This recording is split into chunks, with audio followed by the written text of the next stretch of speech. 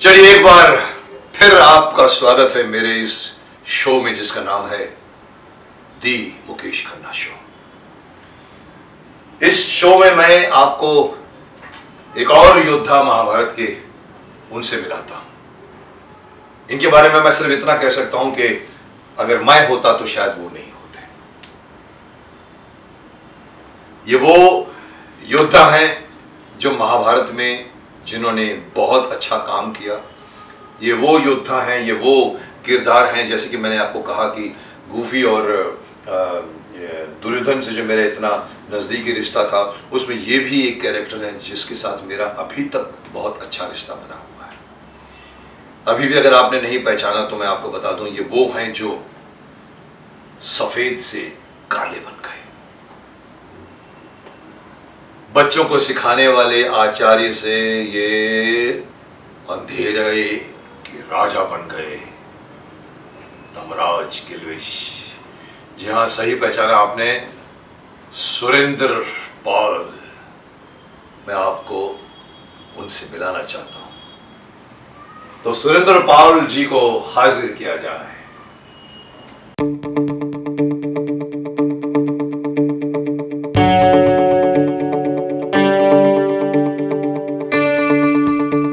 यदा यदा ही धर्मस्य ग्लानि भवति भाव अद्भुताम धर्मस्य तदात्मानं सजाना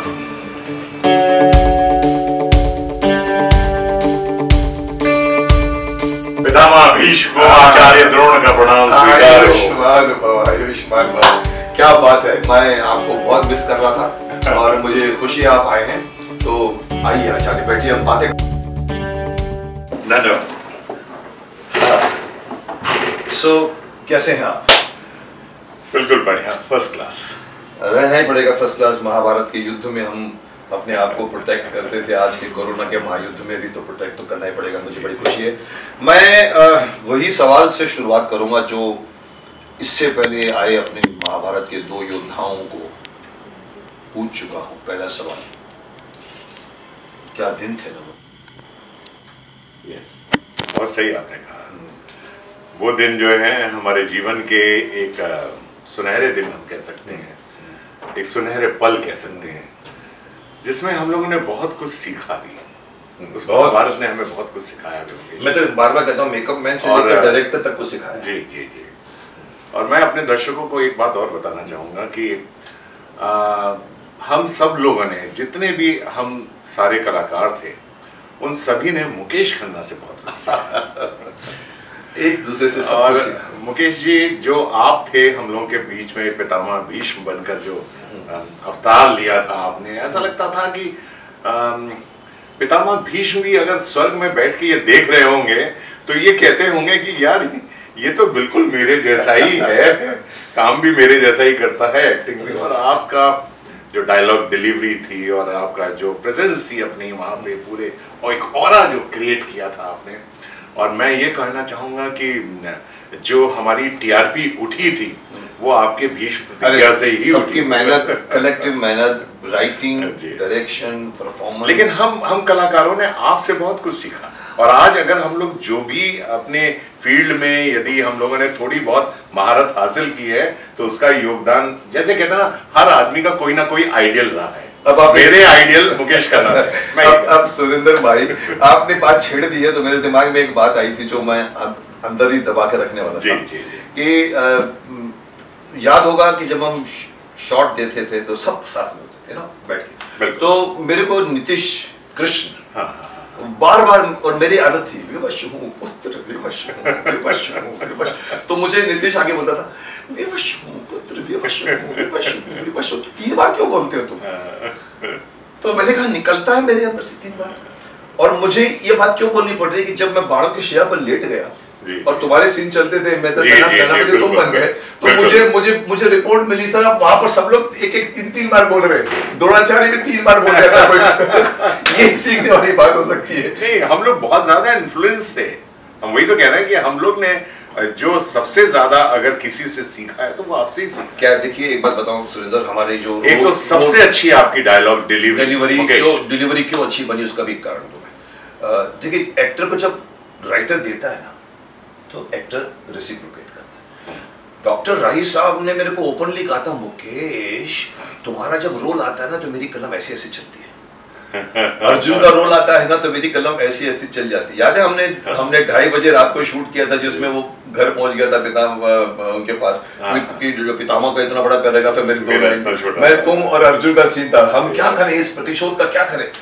तो क्या है कि ज़िम्मेदारी बढ़ती जाती है। मैं वो एक्टर हूँ जो डायलॉग को फेंकता नहीं। तो मुझे वो इतने ब्यूटीफुल लिखे हुए डायलॉग्स मिले थे ना तो मैं उसको रात को या जीवन सुबह जब मैं बाथरूम में आता था मेरी आँखों में अगर आँसू आ जाए पढ़ते पढ़ते ना तो मैं उसको सुर को पकड़ लेता तो I think the credit goes to doctor Rahi Masoom Raza साहब giving me such beautiful lines जो मैं बोल सका वज़न से जिससे आप लोगों ने सुना तो अच्छा लगा। तो I think the credit goes to this Mahabharat का दो लोगों को क्रेडिट हम ज़रूर देना चाहेंगे। एक डॉक्टर साहब को देना चाहेंगे और एक रवि चोपड़ा रवि चोपड़ा ने तो कमाल का दोनों दोनों ने दोनों का contribution was remarkable I can पकड़ के रखा सब यस पकड़ के रखा सब लोग। और और, और याद है याद है जब परफॉर्मेंस करते थे तो मेरे को किसने आगे बताया? मुकेश जब तुम भीषम पितामह के बोलते थे मैं मैं मैं घायल तो मैं हुआ हूँ। मेरे अरे अरे अपमान तो मेरा हुआ है। तो बोलते रवि चोपड़ा को अगर आप कभी देखोगे ना। करते थे उनके भी right. Right? वो वो करते करते वो भी रोने लगते थे रोने लग जाते थे, उनके आँसू गिर रहे होते यूँ देखते। यस यू आर Yes, मुझे किसी ने कहा था जाके अच्छा सुरेंद्र अभी। महाभारत से थोड़ा पीछे जाते हैं। जी जी। मैं मैंने इवन युधिष्ठिर अब युधिष्ठिर कहा मेरे दिमाग में आ मैं अपना दुर्योधन की बात करूँ जिसको मैंने सबसे पहले बुलाया अपने शो में। फिर मैंने गूफी को शकुनी को बुलाया इसके बारे में। और और दोनों तब मैंने कहा था कि मेरे इनसे बहुत एक, एक गूफी है और एक दुर्योधन। मैं इनको पहले से मुझे इन लोगों के बीच में बनती थी। पर अभी तुम्हारे फेस पे कह सकता हूँ कि तुम वो है और मैंने गूफी को भी कहा आई थिंक इस पूरी महाभारत के कास्ट में शायद सबसे पहले गूफी ने मेरे को कांटेक्ट किया था। इवन चोपड़ा साहब भी नहीं।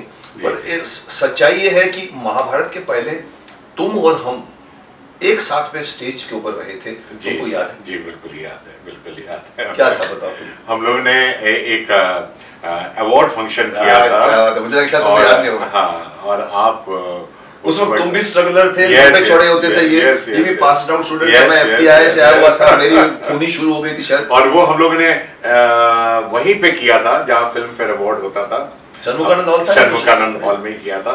उस बड़े हॉल में जो कि हम लोगों का एक ड्रीम हाउस था ड्रीम हॉल था जिसे कहते हैं षणमुखानंद पता नहीं, जहाँ की बड़े बड़े अवार्ड फ़ंक्शन हुआ पर पर हमने जो कुछ किया था ना वहाँ आज शायद मैं नहीं करूँ।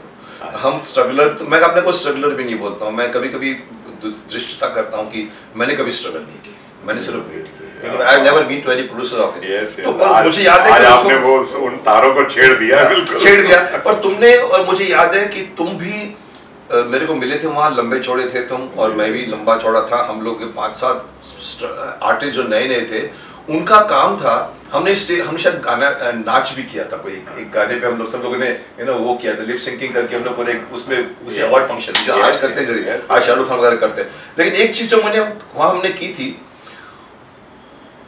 मैं मुझे कहना तो नहीं चाहिए बट हम लोगों को ये कहा था कि जिसको अवार्ड मिलता था ना हमें से एक आदमी नीचे जाता था। और उसको जाके वो सीट पे खड़ी होती थी वो उठती थी और उसको ऐसे लेके उसका पूरा पूरा उसको लेकर ऊपर आते थे जिसको बोलते एस्कॉट एस्कॉट करके लेके आते मुझे याद है शायद नूतन जी को मुझे जाना पड़ा था।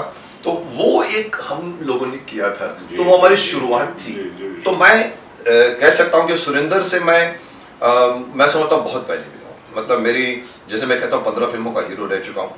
ये मुझे उस वक्त मिले थे जब ये भी आए थे कहीं से yes, और, और मैं भी था तो उस वक्त हम लोग एक। एक स्ट्रगलर्स बोले या कुछ बोलो। हमने उस शो को हमारे लिए बहुत बड़ी भाई से कहते फ़िल्म फ़िल्म फ़िल्म बड़ा होता था। मैं जानना चाहूँगा कि तुम क्या करते थे उस वक्त? उन दिनों मैं यहाँ पे कोई वो तो था नहीं टेलीविज़न तो बिल्कुल नहीं था हाँ, टेलीविज़न नहीं नहीं था। और टेलीविज़न नहीं होने के कारण कलाकारों को काम बहुत कम मिलता था बहुत लिमिटेड से काम मिलते थे। फ़िल्में ही बनती थी यहाँ पे फ़िल्में ही होती थी। और फ़िल्म जो थी पहले मुकेश पहले जैसा कि आप सभी लोग जानते हैं कि पहले फ़िल्म जो बनती थी चार साल में बनी तीन Yes, साल में बनी yes. इस तरह बनती थी। दिल से बनती, दिल से हाँ बनती हाँ, पहले आज जैसे एक साल में फ़िल्म कंप्लीट हो जाती है। पता ही नहीं लगता है फ़िल्म कब बनी हुई जी, जी। बस अब आठ दिन के पहले मालूम पड़ता है कि एक फ़िल्म बनी है। जी जी जी जी। तो उन दिनों काम मिलना कलाकारों को बहुत डिफ़िकल्ट था। उस टाइम पर्सनैलिटी चलती थी। आजकल तो नेक्स्ट डोर का भी आदमी टीवी में काम करता है कोई भी लार्जर देन लाइफ होनी चाहिए आपकी पर्सनैलिटी जी, बिल्कुल सही आपने बिल्कुल सही तो उस वक्त तुमने फ़िल्में की थी? उस वक्त मैं सुभाष गई जी से मिला था। ओके और उन्होंने मुझसे कहा था कि तुम मुझे देखते रहे काफ़ी देर तक देखते रहे। वो कहते तुम वेट करो। मैं तुम्हारे लिए कुछ सोच रहा हूँ। मैं तुम्हारे लिए कुछ सोच रहा हूँ। और उसी दौरान काफ़ी टाइम निकलने लगा तो वो क्रोधी फ़िल्म बना रहे थे हम दोनों। अस्सी की बात कर रहा हूँ सेवेंटी नाइन एट्टी की बात कर रहा हूँ सेवन नाइन एट्टी क्रोधी बहुत बड़े डायरेक्टर बन चुके थे सुभाष गई थी उसमें उन्होंने मुझे एक विक्टर इंजीनियर का रोल दिया था बड़ा इंपॉर्टेंट सा कैरेक्टर था उस फ़िल्म के अंदर। वो दिया था और उन्होंने मुझसे ये कहा था कि तुम मेरा वेट करो मैं तुम्हें लीड रोल दूँगा। अच्छा। और उन्होंने मेरी फ़ोटो वगैरह बिल्कुल वही गन मन लेके सिंगल साहब थे जेपी सिंगल साहब। जेपी सिंगल उसमें फ़ेमस फोटोग्राफर थे उनसे मेरी फ़ोटो वोटो खिंचाई थी गन मन लेके। हम्म। और वो उन्होंने अपने ऑफ़िस में भी लगाई हुई थी। हम्म, लेकिन उससे पहले मेरी फ़िल्म रिलीज़ हो गई थी 82 में शमा शमा नाजमी के साथ। अच्छा। प्रोड्यूस बाय कादर 82 का मतलब हुआ मैं 79 में शुरू किया मेरी खूनी फ़िल्म 79 80 में। तो 82 चार साल खूनी के बाद की बात है। जब मेरी दर्द दिल बनी एटी फाइव में मैंने पाँच फ़िल्में साइन की तो उस वक्त तुम्हारी एटी टू में तुमने वो क्षमा जी जी क्षमा फिर उसके बाद? क्षमा कर लेने के बाद सुभाष गई ने वो फ़िल्म देख ली। उसके बाद उन्होंने कहा सुंदर देखो बंद मुट्ठी लाख की खुल गई तो खा किसने कहा सुभाष गई अच्छा। अब तुम जो है एक्सपोज हो चुके हो दुनिया के सामने। उसके बाद उन्होंने फिर नया लड़का लिया और उसके बाद उन्होंने हीरो फ़िल्म बनाई और जैकी श्रॉफ को ब्रेक दिया। मैं उस बात से रह गया। ये सब मैं मैं ये सब बातें इसलिए नहीं कहना चाहता हूँ कि आ, बहुत सारी चीज़ें आपके जीवन में आ, लिखी हुई होती हैं हाँ, जो होना ही। Destiny destiny destiny is a very plays very मैं कहता हूँ आयुष्मान राव ने लिखा था तो मुझे मेरी पहली फ़िल्म खूनी रिलीज़ हुई। हाँ, हाँ। नरेंद्र बेदी की पहली फ़िल्म अगर खूनी मेरी रिलीज़ जिसमें मैंने गॉड फादर कॉर्लियन का रोल किया था जिसमें विजेंद्र काट के शक्ति कपूर मेरे लड़के थे यंग टू ओल्ड का जो जो अदालत कर चुके थे अमिताभ बच्चन सेम स्टोरी में वो अगर बन के रिलीज़ होती तो फिर मैं महाभारत नहीं करता। जैसे राज बब्बर महाभारत नहीं कर पाया बिकॉज़ वो टाइम नहीं पहुँच जी जी। तो और और 82 में जब मेरी पहली फ़िल्म रिलीज़ हुई तो बहुत बड़ी हिट भी हुई वो फ़िल्म उसके बाद मुझे काम मिलना शुरू हो गया। उसी दौरान Gufi Paintal ji as you know की कास्टिंग डायरेक्टर हमारे यहाँ हुई थे। 89 में हाँ, महाभारत आई यस 88 88 में तो तुमको वो कांटेक्ट किया। और उसमें इसलिए कांटेक्ट हुआ क्योंकि आप जो थे यहाँ से मैं यहाँ से मैं मैं कहानी को आगे बढ़ा मैं होता तो ये नहीं होता। ये मैं yes, फेस yes, पे गया था वेरी ट्रू क्योंकि मैंने बिल्कुल सही करें मैं दुर्योधन का मना करने के बाद में अच्छा। चुपचाप बैठा मुझे अर्जुन करना था कर्ण करना था। हाँ। आ गया फिरोज पंकज धीर आ गया। हाँ। मैं उनके ऑफ़िस में चक्कर लगाता रहता था। और अल्टीमेटली मेरे को गूफी ने फ़ोन किया एक दिन मुझे मुकेश बिकॉज़ मैंने चोपड़ा साहब को एक बात कही थी जो किसी को मैंने प्रोड्यूसर को कहा मैंने कहा sir I would love to be part of Mahabharat बोला नहीं नहीं Mukesh I would love to give you one of the best roles तो एक फ़ोन आया मुकेश मुझे नहीं पता तुम क्या बोलोगे पर एक रोल बचा है. मैंने कहा क्या बचा है? बोला गुरु आचार्य द्रोण का। मैंने हाँ कह दी। तीस सेकंड में मैंने हाँ कह दी। हाँ। वेद भाई बैठे थे भड़क गए मेरे पे। हाँ। तुमने दुर्योधन मना किया और तुम एक गुरु का रोल करते हो। मैंने कहा नहीं एवरी रोल इज़ योद्धा। It all depends how you depict और मैंने बचपन से महाभारत इतनी पढ़ी थी हमारे यूनिट में बहुत कम लोग जानते थे महाभारत मुझसे पूछते थे गोफी मुझसे पूछते सत्यकी कौन है मुकेश? वो आता था तो मैंने क्या कहा चलो करते हैं। मतलब मुझे महाभारत के साथ जोड़ना था। पता लगा हम लोगों ने आ, हम लोग थे अपना राज बबर के मुँह से भी ये बात निकली थी मुकेश हम लोग हम लोग एक एक सीढ़ी पर फ़ोटो खिंचा रहे थे ग्रुप फ़ोटो आफ्टर दैट हवन। तो मेरे को वो सर सर बोलता था क्योंकि मेरे यहाँ उसकी खूनी में उसकी ऑडिशन हुई थी पहले। हाँ, हाँ, हाँ, बोलता सर जी आप क्या कर रहे हैं? मैं इसके नेक्स्ट खड़ा मैंने कहा पता नहीं है तक तो, मैं तो मैं द्रोणाचार्य हूँ। अब तक तो क्यों बोला मुझे नहीं मालूम। अंदर से निकली होगी। पंद्रह दिन बाद गुफी का फ़ोन मुकेश तू आ जा। मैं तू पागल है बच्चे पैदा होंगे बड़े होंगे फिर गुरु आएगा। नहीं नहीं कुछ चक्कर चल गया चक्कर चल गया तो आ तो वही विजेंद्र गाड़गे का तुमको मालूम है उसने मना कर दिया था। जी जी जी आई एक्सेप्टेड भीष्मा भीष्मा तो ये सांप बन गए द्रोण। मैं ये नहीं कहता कि मैं होता तो ये नहीं होते। हो सकता है कि मैं यहाँ बैठा जहाँ ये यहाँ बैठे होते ये भीष्म पितामह बन चुके होते हो सकता है। नहीं और मैं एक बात और मुकेश बताना चाहता हूँ। बड़े चोपड़ा साहब ने मुझे ये बात कही कि यार द्रोणाचार्य ये तुम लगते हो। क्योंकि भीष्म और Drona was a best of friend friends, yes. और ये दोनों की पर्सनालिटी मिलती हुई है। मिलती हुई उन्होंने हाँ। कहा body मतलब ये उस वक्त बोला था मुझे याद है जब मुझे मैं उनको ऑफ़िस में मिलने गया था। बोले भाई मुकेश खन्ना का ये दोस्त लगता है भाई ये ये देखो इसकी हाइट पर्सनालिटी बिल्कुल मुकेश जैसी है। मुकेश जैसी। भाई it was a big compliment to me मैंने मुकेश but जैसी लेकिन हाँ, उसके उसके पीछे छुपी हुई तूने डेस्टिनी नहीं देखी। मैं जो ये कहना चाहता हूँ कि जैसे मैंने कहा दर्शकों को कि अगर मैं नहीं मैं होता तो ये नहीं होता। मतलब मैं अगर द्रोणाचार्य बन गए होते तो ये शायद नहीं आते महाभारत में। पर मैं एक कदम आगे बढ़ के बोलना चाहता हूँ कि हो सकता है कि वो इसको फिर भीषम पितामह के लिए बुलाया जाता। तुम भीष्म पितामह बन जाते तो यहाँ बैठ के तुम मेरा इंटरव्यू ले रहे होते आज द्रोणाचार्य। तो ये भी हो सकता हो। सकता है so this is what Destiny, casting and destiny जो मैं हमेशा कहता हूँ कि और कास्टिंग के लिए मैं एक बात बोलना चाहूँगा मुकेश कि महाभारत की जो देखो महाभारत अभी तक हिंदुस्तान में शायद सत्रह बार बन चुकी है सत्रह बार महाभारत बहुत बहुत घटिया बहुत बार बनी है हर आदमी ने महाभारत को ट्राई किया है हर आदमी ने महाभारत को कैश करना चाहा। लेकिन जो चीज़ ओरिजिनल होती है वो ओरिजिनल होती है और उस पुरानी महाभारत में जिसमें हम लोगों ने काम किया था उसमें सबसे अच्छी चीज़ थी जो कास्टिंग जैसी हो हो गई Definitely, है casting वैसी का तो सवाल ही- आज तक किसी भी सीरियल की नहीं हो पाई है। Correct, correct, correct. किसी भी शो की। बीच में एक ऐसा पॉइंट उठाऊँगा मैं जो जो शायद तुम्हें चुभ भी जाए मुझे नहीं मालूम। But no we are best of friends so problem नहीं है।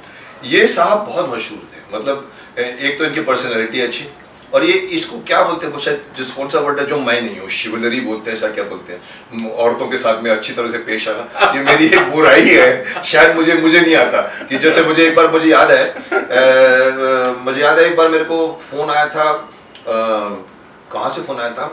ये लीला कैंपस के जो कैप्टन नायर थे। और Mukesh Mukesh uh, uh, crorepati you you should do the crorepati after Amitabh Bachchan ढूंढ रहे थे। वो। तो मैंने मुझे याद एक बात कहा था मैंने कहा देखो मैं शायद नहीं कर पाऊँगा। I will not be able to touch him वो एक एक बहन जी का रुमाल गिर जाता है। तो अमिताभ बच्चन जी रुमाल उठा के बोलते बहन जी आपका रुमाल गिर गया पूरा हिंदुस्तान खुश लड़कियाँ औरतें को। मैंने कहा मैं शायद वो नहीं कर पाता क्योंकि मुझे नहीं आता करना।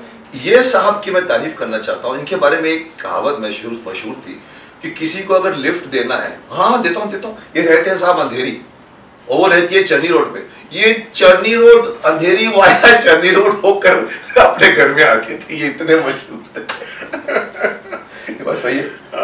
ये मुझे किसी ने सुनाया था कि सुरेंद्र कुमार बोलेगा वो वो उसको ये- चरनी रोड चक्कर मार के अपने घर जाएगा। नहीं वो एक बार ऐसा हो गया था हमारे हमारी जो महाभारत में जो कृष्ण की वाइफ बनी थी चन्ना रूपा रेल हाँ। वो एक दिन रात में पार्टी चल रही थी अच्छा, उन्होंने बोला कि मैं अकेली पड़ गई हूँ और मुझे कोई छोड़ने वाला नहीं है तो मुझे सुरेंद्र तुम छोड़ दोगे? तो मैंने कहा चलो अब मेरे पास गाड़ी थी।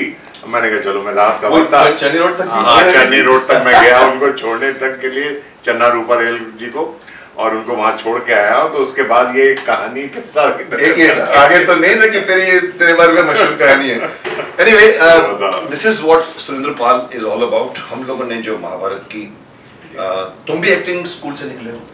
रोशन रोशन जी रोशन जी हाँ, मतलब जो हम फ़िल्म इंस्टीट्यूट जैसे मुंबई करके इमीडिएटली रोशन जी ने यहाँ बॉम्बे में खोला था। तो तुम तुम भी और इवन इवन दुर्योधन भी शायद वहीं से करता है। जी जी दुर्योधन मेरे बाद में दुर्योधन आया था मेरे साथ था अनिल कपूर गुलशन अनिल कपूर गुलशन को सब अच्छे अच्छे लोग निकले हैं जब हाँ। चोपड़ा जी, जी। जब यहाँ पर आए। हाँ टीना टीना मुनीम भी हमारे साथी थी।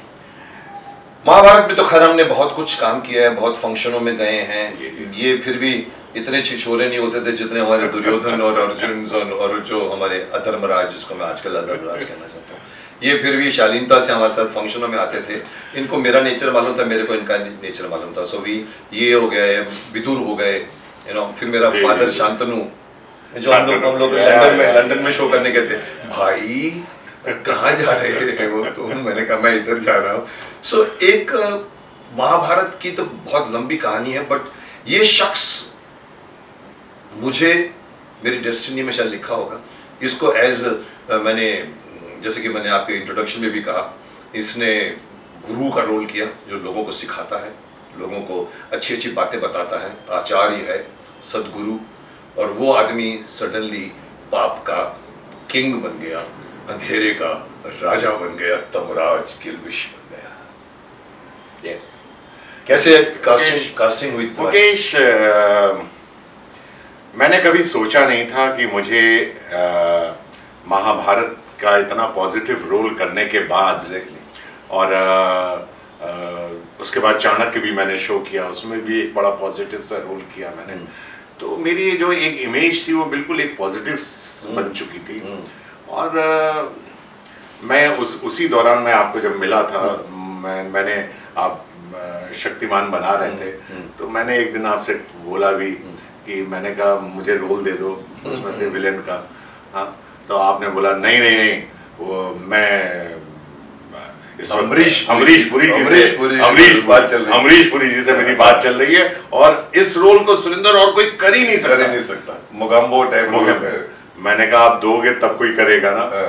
तो बोला नहीं नहीं नहीं अमरीश पुरी जी से बात चल रही है। अच्छा उन दिनों अमरीश पुरी जी फ़िल्मों में बहुत ज़्यादा बहुत busy थे। बहुत ज़्यादा बिज़ी थे बहुत ज़्यादा बिज़ी थे। He was the only villain in the industry which was मतलब जो दिन रात काम करते थे। इसके अलावा एक और बात भी बोल गए थे वो जो मुझे बाद में अच्छी नहीं लगी थी। उनके मुँह से निकला था कि किसी ने टीवी में इंटरव्यू किसी ने इंटरव्यू लेते थे पूछा था कि आप टीवी में क्यों नहीं काम करते?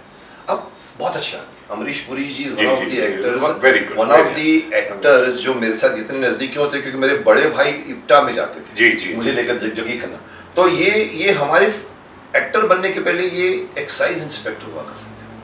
तो मेरे फैक्ट्री में भाई साहब बोलते हैं कि हमारे यहाँ आते थे वो बैठते थे चाय पीते थे जाते थे। Before he became even IPTA में काम करते थे। तो अच्छा, उस अच्छा, टाइम अच्छा। से हमारी फैमिली को तो उनके मुँह से एक सेंटेंस निकला था एक इंटरव्यू में नहीं नहीं नहीं नहीं टीवी का पर्दा मेरे लिए बहुत छोटा है। ये स्टेटमेंट था क्योंकि उनका दिमाग में था कि मेरे जैसे एक्टर को सेवेंटी एम क्या पर्दा ये होता है मैं इतनी बड़ी हाइट का हूँ इतनी बड़ी पर्सनैलिटी है मेरी। खैर मुँह से निकल गया होगा मैं जानता हूँ कि वो एक्टर कमाल के एक्टर मैं मुकेश एक बात बताना चाहता हूँ आपके शो के द्वारा लोगों को बताना भी चाहता हूँ कि उन दिनों लोग बहुत ज़्यादा इस बात को कहा करते थे कि टेलीविज़न का पर्दा बहुत छोटा होता है और हम इसमें अपेयर नहीं होंगे। मुझे याद है, कई लोगों ने मेरे पे मेरे कोई, कई बहुत बड़े कलाकार थे, बहुत नंबर वन फ़िल्मों में बहुत बड़े बड़े स्टार बन चुके हैं वो लोग। उन्होंने कहा था मुझसे कि सुरेंद्र क्या तुम पागल हो गए हो जो तुम ये दाढ़ी वाड़ी सफ़ेद दाढ़ी वाड़ी लगा के ये द्रोणाचार्य का रोल कर रहे हो? ये सब टेलीविज़न का काम कर रहे हो? ये ये छोटा पड़ता है ये इट्स नॉट माई हाँ मुझे याद है मुझे याद है बहुत बड़े बड़े लोगों ने कहा था।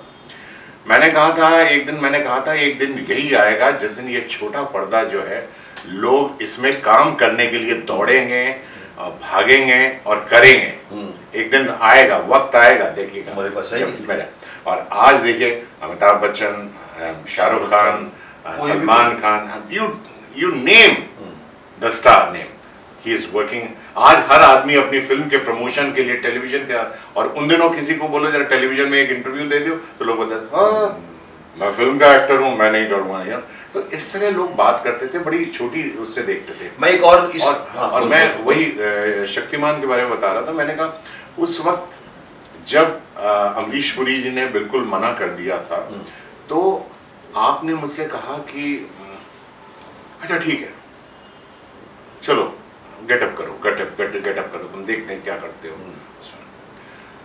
तो मेरे लिए एक बहुत बड़ी समस्या खड़ी हो गई थी हम्म। कि आपने कहा था एक स्टार वॉर मुझे फ़िल्म का कैसेट दिया था और कहा ये देख लो।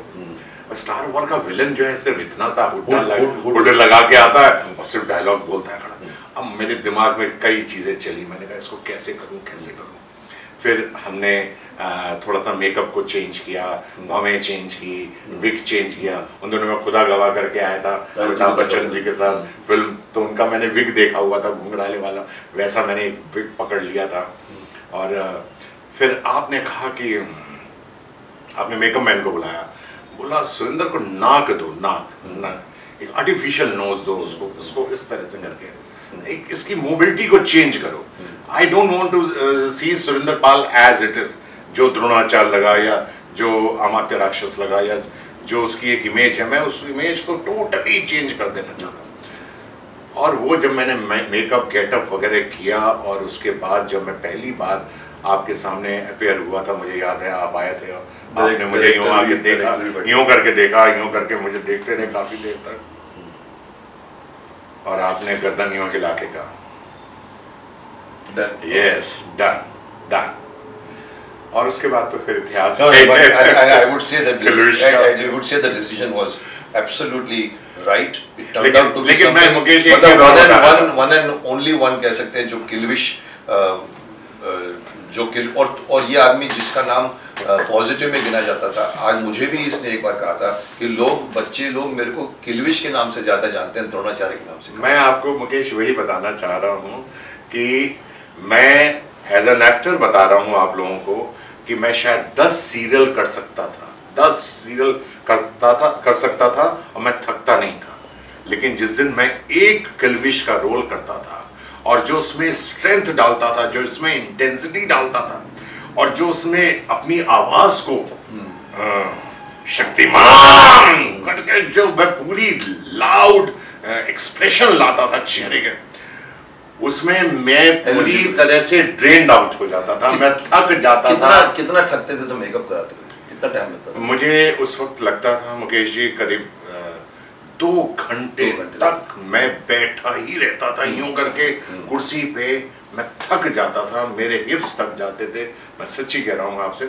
और उस वक्त जब मैं मेकअप करके जब मैं आता था किलविश होके और दूसरी बात जहाँ शूट होता था जहाँ वहाँ पे चारों तरफ़ एक तो एक, एक तो गुफा थी हमारी।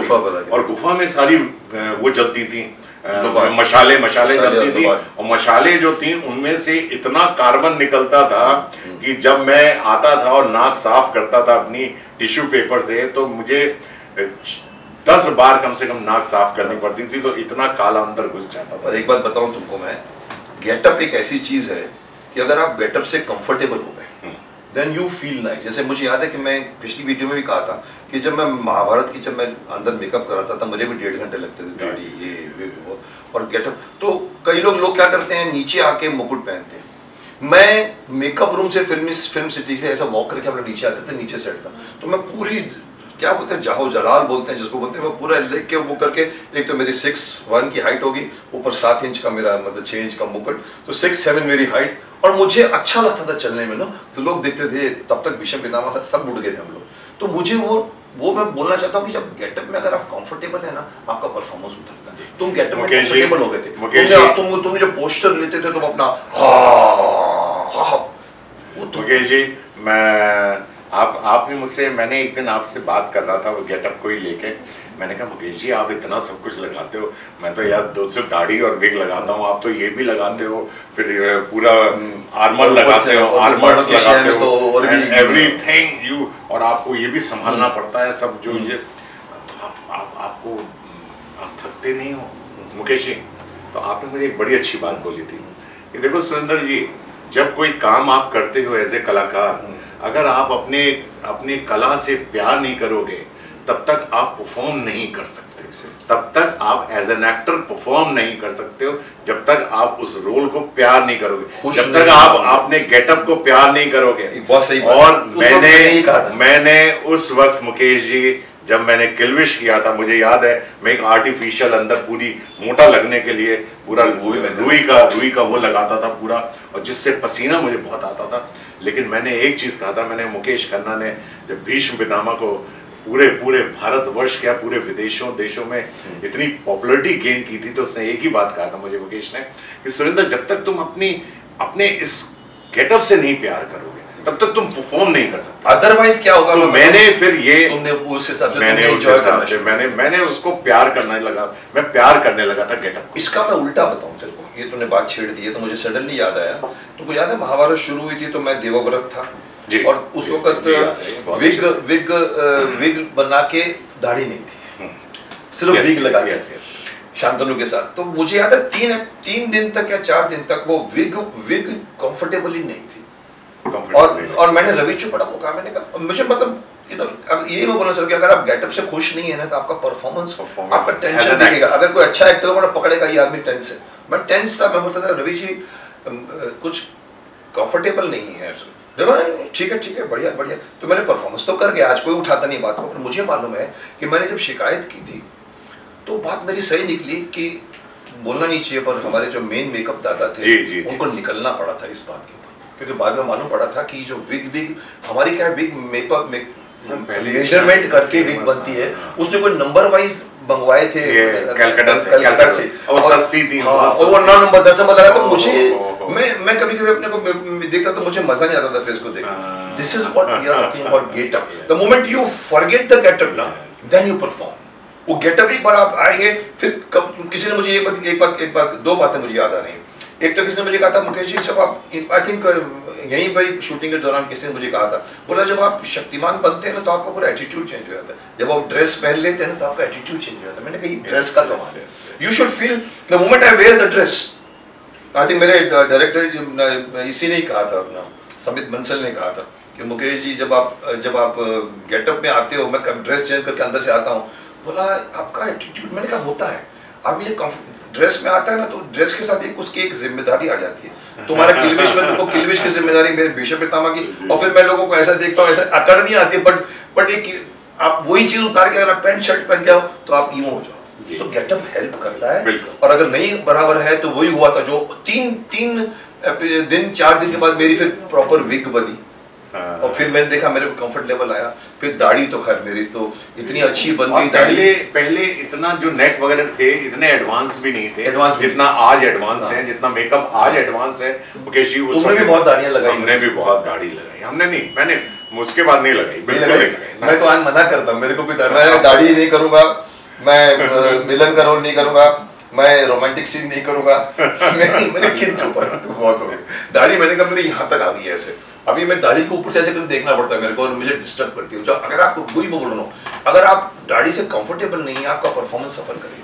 तो दाढ़ी मेरे मुझे डिस्टर्ब करती है। पर एक जमाना था जब मैं पंद्रह फ़िल्मों में हीरो था उस उसमें और इनफैक्ट महाभारत तक तो आके मैंने दाढ़ियाँ तो दाढ़ियाँ ही लगनी शुरू हो गई। तो मुझे याद है मेरा मेकअप मैन होता था इनायत शेख। हाँ। उसका काम था वो ढूंढ ढूंढ के लाता था बोला सर सर सर, देखिए मुकेश जी ये सर लॉरेंस ओलिवर ने की दाढ़ी है। मैंने कहा अच्छी अच्छी रखते इसको अपने अपने फ़ाइल बनाते थे ये क्लिंट ईस्टवुड की दाढ़ी है। मैंने कहा ये भी अच्छी लग रही है इसको दो तो मैं जमा करता था और फिर हम लोग उसमें से मारते थे। हमने शॉन कॉनरी की एक दाढ़ी किसी मैंने एक तो, हाँ। तो आज उल्टा हो गया। आज शायद दाढ़ी जब लगती है ना टिंग टिंग टिंग टिंग और वो इनायत का भाई मोहम्मद शेख मेरा बाद में मेकअप मैन बन गया। तो मेरी दाढ़ी थोड़ी थोड़ी निकलने लगती थी तो वो आता था भाग और वो मैंने क्या कर रहा हूँ? निकल रहा है। मैंने क्या कर रहा हूँ? निकल रहा है। नहीं वो टिक टिक टिक टिक तो मैं ऐसे ऐसे ऐसे होता। अब वो बात मेरे आ गई यहाँ तक मेरे परफॉर्मेंस पे इफ़ेक्ट करता है। मैंने तो इवन गोगा कपूर जी के बारे में सुना था। मेरे को किसी ने आगे बताया बोला सर गोगा कपूर जी का पता है क्या करते थे? क्या करते थे? बोला वो शॉट देते थे और शॉट खत्म होता था फिर आके बैठते थे अपने आगे तो दाढ़ी ऐसे निकाल देते थे और रख देते थे और फिर बातें बातें करते थे। बोला शॉट रेडी है रेडी है आजा आजा भैया। ऐसे चिपका देते तो मैंने ये मेरे को मेरे से भी नहीं मेरे से भी तो नहीं से भी नहीं होता तो मैं एक बार लगा दी तो रात तक लगी रहेगी। हाँ वो भी है वो उसको मैं तोड़ नहीं। वो भी ठीक मुझे इतनी इरिटेशन होती है बिल्कुल आपने जो बात कही है। मैंने महाभारत में जो लगाई लगाई उसके बाद मेरा शुक्राचार्य में लगी सेकंड टाइम थर्ड टाइम जब मैं सरदार बना आ, तब मैंने लगाई. बस उसके बाद मैंने कभी नहीं लगाई. चोपड़ा मैं मैं साफ़ मना करता हर जगह मुझे आया. पृथ्वीराज चौहान में भी आया. जब मैं देवों का देव महादेव कर रहा था प्रजापति दक्ष के लिए उन्होंने कहा मुझे ऐसी दाढ़ी चाहिए ये ये रॉब दास वो चाहिए थोड़ा पेट आगे चाहिए सुंदरी। मैंने बोला बिल्कुल भी नहीं बिल्कुल नहीं करूँगा। दाढ़ी तो दाढ़ी अगर आपने लगानी है किसी और एक्टर को साइन कर दाढ़ी लगाई? हाँ, दाढ़ी मैंने नहीं लगाई। मुझे दाढ़ी से जो आपने बात कही है वही मुझे इतनी इरिटेशन होती है दाढ़ी का और गम जो चिपका रहता है और वो परफॉर्मेंस में भी आपके शो होता है। इसमें दो आयरनी बताऊँगा। एक तो तुमने प्रजापति दक्ष की बात की वो मुझे सडन एक बात याद आ गई और एक दूसरा दाढ़ी हमको करती an है। actor। चोपड़ा साहब पापा जी। हाँ। हम लोग बैठे थे ऑफ़िस में। तू मुकेश तू तू दाढ़ी बगैर कोई रोल ना करी। मैंने क्यों दाढ़ी तेरे बहुत सूट करती है। मैंने कहा यही तो ट्रेजेडी है पापा जी। मुझे याद है यलगार रिलीज़ हुई। यलगार के बाद में फिरोज खान का फादर जो बना मैं मैं उनके ऑफ़िस में फिर गया। तो ऑलमोस्ट खड़े हो गए चेयर से। You are looking very good in in Yalgaar. Yalgaar मैंने कहा पापा जी उसमें दाढ़ी नहीं थी। एक सेकंड के लिए ऐसे हो गए। बोला नहीं नहीं नहीं वो वो अभी तुम्हारा फेस इतना भर गया या वो है अब तुम्हारे वो है, तो चक्कर ये है। कि मेरे को लोग सूट करती दाढ़ी। जैसे तुमको भी दाढ़ी सूट करती है इस वक्त तुम दाढ़ी से तुम्हारा गेटअप बनता है। पर रियल लाइफ में सफ़र कर सकते हो पर जब लगी हुई हो लगी हुई और तो एक तो ये बात कि दाढ़ी मुझको बट मुकेश जी एक बात बताना चाहता हूँ यलगार मैंने भी देखी थी। आप आप फिरोज खान के पिता ज़रूर बने थे लेकिन आप बेटे लग रहे थे वो बाप लग रहा था। सॉरी अब तुमने छेड़ दिया तो इसका भी जोक सुनाओ तुमको। सॉरी पूरे इंडस्ट्री में बोलते थे कि जब पापा फिरोज खान साहब आपको डैड बोलते थे तो मैं बोलता डैड तो मैं बोलता था "हम्म।" बोलता हमको हँसी आती थी। हँसी आती है, हम लोग joke. and you were so young so I know. energetic and so handsome you know? But इसकी इसकी एक You're still handsome, I'm not saying that. Touch मालिक की मालिक की दया। बट इसके ऊपर एक हास्यास्पद बात बताऊँ। मैं प्लेन में जा रहा था और जैसे ही मैं आयल से चल के जा रहा था सीट पकड़ने तो यहाँ पर बैठे थे कौन पता? अजीत साहब अ, मेरा हाथ पकड़ गया ऐसे। तो मैंने कहा हाँ अजीत साहब। मैंने कभी काम नहीं किया उनके साथ। हाँ अजीत साहब। बोलते हैं, माफ़ करना डैड बना दिया आपको। मैंने कहा आप भी बोला तो उनको भी पूरे यू राइट पूरे इंडस्ट्री में हँसते थे। प्राण साहब को मैंने एक बार पकड़ा मेरे साथ एक फ़ंक्शन में हाँ, बैठा मैंने कहा प्राण साहब साथ में बैठते मैंने कहा ये मेरे को लोगों ने पितामा को एक्सेप्ट किया। मेरे को पाँच जनरेशन का फादर पितामा बना। लेकिन फिरोज खान के फादर का रोल मुझे एक्सेप्ट नहीं किया। बहुत अच्छी बात मिली बोला मुकेश यू लिव्ड इन पितामाज रोल फ्रॉम यंग टू जवान टू मिडिल एज टू अधेड टू सुपर हीरो सुपर बूढ़े बूढ़े Firoz Khan already done that तो मैंने कहा वो खुद बोलते ही देख चुके हैं। इससे तुम और मेरे को इसका जो कल्बिनेशन हुआ ना अ, मैं फिरोज साहब के संजय खान की लड़की की शादी में गया हुआ था उस समय थोड़ा सा खफा था उनसे ऐसे ऐसे हाँ, हाँ, क्योंकि हाँ। उन्होंने मुझे प्रीमियर शो में ऊपर नहीं बुलाया था स्टेज पे तो हाँ। मैं मैं दिल्ली नहीं गया था हाँ, तो मैं वो उस फ़ंक्शन में ये यहाँ से आवे तो मैं अपने सेक्रेटरी को लेके वहाँ से निकल जाऊँ यहाँ से आवे अवॉइड करते एक जगह पकड़ लिए सामने मैंने कहा नमस्कार मैंने कहा "अरे, मुकेश सुना है कि दुश्मन नासाज है समथिंग मुझे हाँ, मारते हाँ, हाँ। मैंने कहा नहीं आपने किया। बोला मुकेश क्या करूँ? मैं बहुत टेंस था वहाँ पर मेट्रो के अंदर। Decoration was not he called Amitabh Bachchan he called Dabbu he called Sanju he did not call me on stage. जो संजय दत्त बाहर मिला मुझे मेट्रो के बाद जब मैं निकला तो वॉक करके आया। बोला call you? He did call you? So ना मेरा सीन इंटरवल में एंड होता है जी। जो। कन्फ्रंटेशन सीन है। उसके बाद तो उसमें मेरे मुँह से निकला फिरोज फिरोज साहब भाई आप मुझे आपका फादर के रोल में लोगों ने एक्सेप्ट नहीं किया। मैं बोल गया था मैं बोल गया। बोला Mukesh I took you for a Pitamah image तो मैं यहाँ तक आने वाला था मैंने कहा अच्छी बात नहीं कि मैं आपके इमेज का क्या करूँ? मैंने नहीं बोला मैं चुप होके निकल आया। But I must say that that was Yalgaar was a good role for me. Because I remember I remember in we were in uh, Dubai we were in that uh, Sharjah में match खेलने गए थे पूरी industry वाले थे। तो मुझे याद है राज बब्बर के मुँह से निकला। बोला Mukesh you are the best part in Yalgaar Mukesh ji मुझे आपकी एक चीज़ बहुत अच्छी लगती है। अ, आपने जितने भी कैरेक्टर्स किए हैं अभी तक चाहे वो ओल्ड हो या यंग हो देखिए आपने भीष्म पितामह एक डिफरेंट प्रोस्पेक्ट में किया और फिर आपने उसी उसी टाइम पर उसके कुछ दिनों के बाद शक्तिमान किया। शक्तिमान किया। Totally a different character absolutely वो चेंज ऊपर से गंगाधर। हाँ तो वो आप। आप, आप आपका ही बताया हुआ मैं वो कोटेशन अपने दर्शकों को भी बताना चाहता हूँ। मुकेश जी ने कहा है कि कलाकार के लिए सारे रोल चुनौतीपूर्ण होते हैं।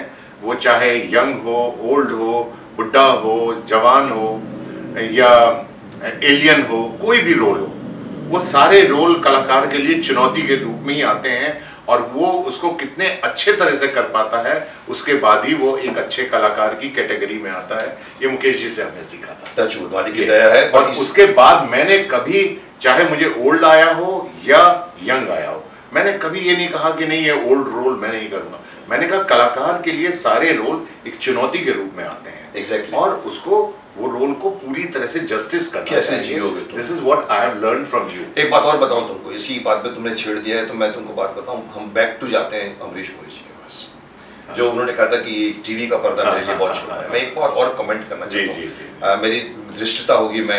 अमरीश जी के खिलाफ नहीं। नहीं बोल सकता हूँ लेकिन मैं ये बात बता दूँ कि एक्टर के लिए कैमरा मायने नहीं रखता छोटा पर्दा बड़ा बड़ा पर्दा नहीं माने एक्टर एक्टर है आपके सामने एक अगर मोबाइल का कैमरा है या आपके सामने अगर ये डिजिटल कैमरा है या आपके सामने 16 एम है या आपके पास 35 एम है या 70 एम है कोई फ़र्क एक्टर को नहीं पड़ना चाहिए। वो एक्टर अच्छा काम तब करेगा जब वो कैमरे को इग्नोर करेगा। So you have to forget. That is why we gave 70 mm performance in a TV Mahabharat हमारे लिए वो नहीं था कि छोटा पर्दा हमारा जो परफॉर्मेंस आप तुम गिनो तुम 75 mm के परफॉर्मेंस देखेंगे, तुम्हारा परफॉर्मेंस सबका परफॉर्मेंस नीतीश का परफॉर्मेंस गुफी का परफॉर्मेंस दुर्योधन का परफॉर्मेंस हमने ये सोच के नहीं कहा था कि पर्दा छोटा तो मैं माफ़ करना, मैं मरीश जी के खिलाफ नहीं बोलना चाहता बट आपने बात निकाली कि एक्टर को क्या करना चाहिए तो एक्टर को मेरा ये हमेशा बोलता हूँ कि एक्टर अच्छा एक्टर वो होता है, जब एक बार कैमरा ऑन हो जाए ना तो उसको भूल जाए। एक जमाना होता था जब बड़ी प्रॉब्लम आती थी। जी, जी, वो मिशिल कैमरा होता था। हाँ, तो वो हाँ। जब शुरू होता था ना तो आवाज़ आती थी। और वहाँ प्रोड्यूसर खड़ा रहता था वो देखता रहता उसकी उसकी उसकी बीपी बढ़ती थी कि 19 रेट खत्म हो रही जल्द से ओके टेक करेगा कि ओके टेक करेगा कट कट कट फिर वो दूसरा तो प्रोड्यूसर की ब्लड प्रेशर बढ़ता था। आज साइलेंट कैमरा साइलेंट है करेक्ट बट फिर भी आदमी कैमरा कॉन्शियस होता है तो वो एक्टर नहीं एक्टर वो है जो भूल जाए। मुझे किसी ने कहा था कि एक्टिंग कितनी डिफ़िकल्ट है। मैंने कहा देखो एक्टर अगर नॉन एक्टिंग करेगा ना सबसे अच्छा एक्टर आपका आदमी कह दे कि आप ने तो एक्टिंग ही नहीं की। जैसे हम जैसे मैं हाँ, तारीफ़ हाँ, करता हूँ इरफान की तारीफ़ करता हूँ मैं इन लोगों की तारीफ़ करता हूँ। ये लोग काम करते हैं ऐसा लगता है कि मक्खन में से एक छुरी निकल गई। मालूम ही नहीं पड़ता कि वो एक्टिंग कर रहे है। हम हम ड्रामेटिक एक्टर हैं। मैं ड्रामा में बिलीव करता हूँ। इरफान को मैंने एक बार मैंने फ़ंक्शन में कहा था। मैं चेयरमैन चिल्ड्रन फ़िल्म सोसाइटी का जयपुर में चेयरमैन था। वो अनिल कपूर दोनों आए थे। तो मैंने उनके कहा, मैंने कहा, ये देखो, बैठा हुआ एक्टर इसका नाम इरफान। ये कैसे एक्टिंग करता है, मुझे भी नहीं मालूम। ऐसा लगता है कि मक्खन से आ रही मैंने कहा, मैं इनके अपोजिट हूँ। मैं ड्रामेटिक और डायलॉग बाजी और ड्रामा बाजी कर सकता हूँ। मैंने कहा, मैं वो नहीं कर सकता जो इरफान कर सकता है, पर माफ़ करना, मैं जो कर सकता हूँ, वो इरफान भी क्या बात? तो अपने अपने एक, एक स्टाइल ऑफ़ एक्टिंग मैंने पकड़ लिया से मैं साफ़ बोलता हूँ। डायलॉग के बगैर मुझे अच्छा, मुझे मत लो मुझे मत लो। मेरे को कभी कभी देते मैंने किसमें क्या काय को मुकेश करना चाहिए आपको? आप तो कोई भी कोई भी डायलॉग्स हो तो लीजिए। मैं अपनी तारीफ़ नहीं कर रहा। But I am comfortable as Shaktimaan I am I was comfortable as Bhishma Pitamah that is why I could perform Shaktimaan because मेरे अंदर से निकला। Yes. और तुम्हारे अंदर से किलविश निकला। कमिंग टू शक्तिमान और, और मैं ये भी बताना चाहता हूँ अपने दर्शकों को कि शक्तिमान का जो रोल था वो इतना इजी नहीं था जितना लोगों ने देखा उसको इजी वे में।